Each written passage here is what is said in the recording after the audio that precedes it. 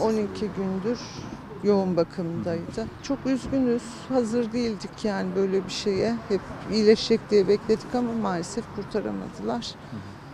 Allah rahmet eylesin. Sevenlerinin herkesin de başı sağ olsun. Yarın mecliste 14'te tören yapılacak.